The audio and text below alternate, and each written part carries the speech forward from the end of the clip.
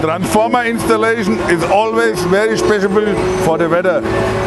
I cannot installation when it's raining, so I need my sun. Yeah, today I have sun, I am happy. Reached quite a milestone for the project here at Benmore. Uh, we've got the first converter transformer fully assembled and uh, slotted into its final position, pushed into its uh, transformer bay and fully bolted and welded down into its final position. You just have to retighten some of the glands that have either haven't been tightened up uh, well enough in the first place or they've come loose during transportation. It's the, uh, the armouring the screen of the cables, just going through and checking them all, make sure that they're all done, done up tight and fit for purpose.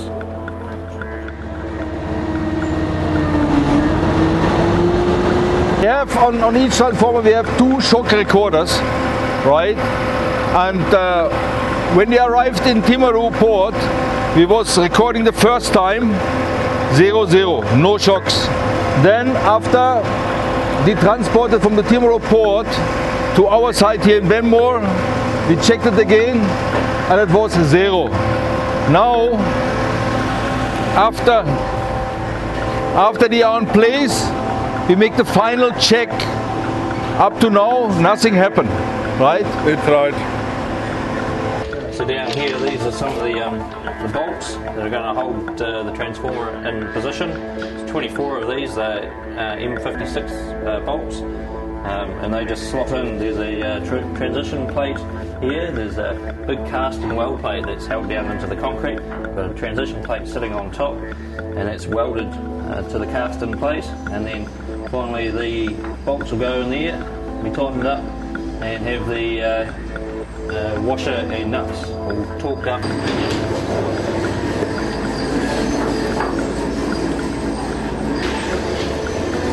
There you can see the interface between the converter transformer bushings and penetrating through into the valve hall. So the large bushings that you saw on the transformer fully assembled there, that's now poking through into the valve hall and will be connected to the thyristor valves. This area will be filled with a Durasteel with a uh, fire protective um, infill and basically seal, seal all, all, all of this up to make sure that um, it's all weather tight and that uh, this is a, a fully protected fire and blast wall. These, what we've got here is the main bushings, the AC bushings coming in from the transformer.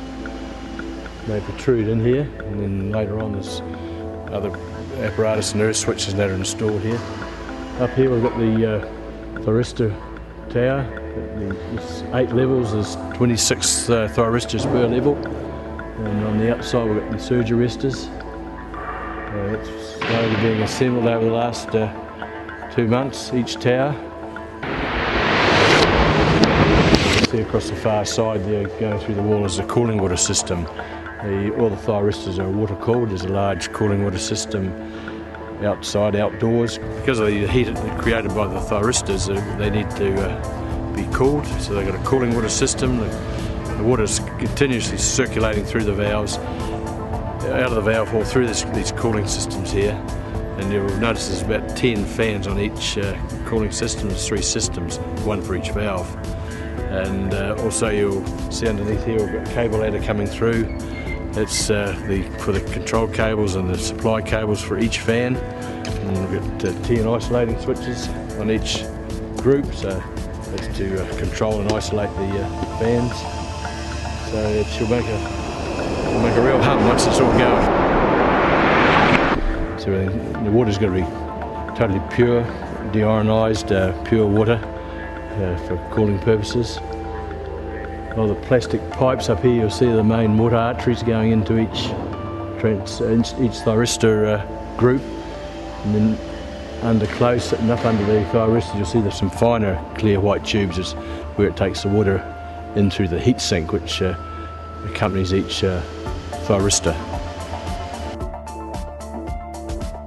It's a lot of work. We've come a long way to, to get to this point, and uh, that's the one, the first one done, and we're just setting up now for the second one.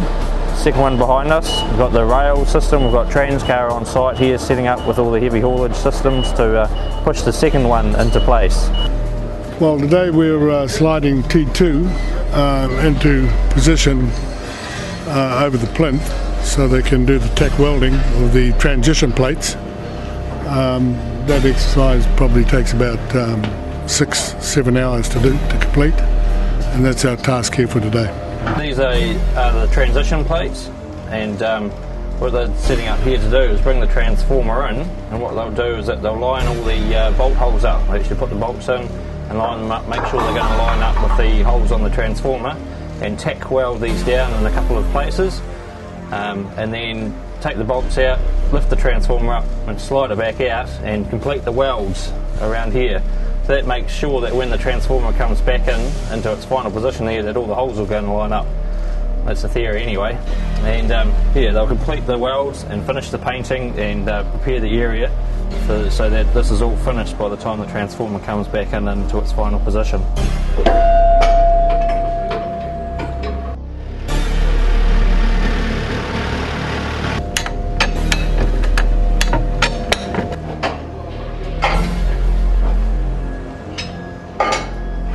The sliding, uh, the actual sliding only takes about uh, two hours, but the prep work to do it takes about five.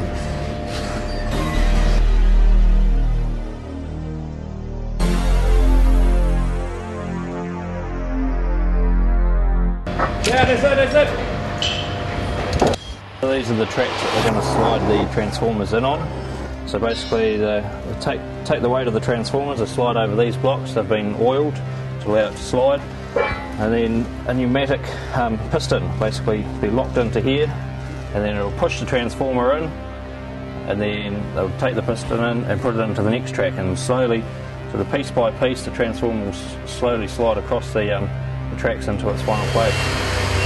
Perfect. Our skid rails are perfect, ready to skid in.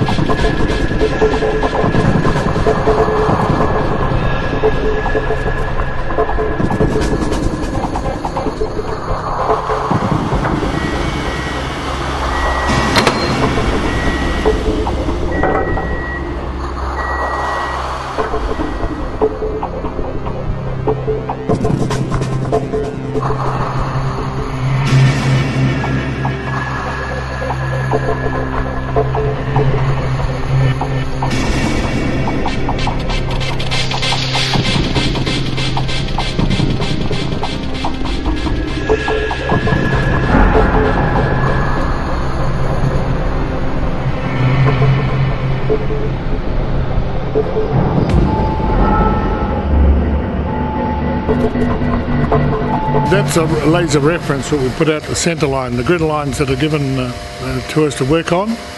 And the transformer, when we first place it down from transport out there, we try to get it within about 50 millimetres of true sitting here. So when we get it across, we manoeuvre it around till we actually place it on those lines.